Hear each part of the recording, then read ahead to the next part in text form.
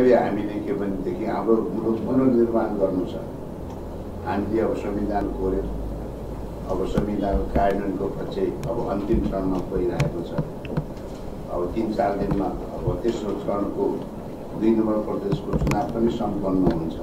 त्यसपछि मङ्सिर दस गते र मङ्सिर एक्काइस गते हामी अरू चुनाव गर्दैछौँ।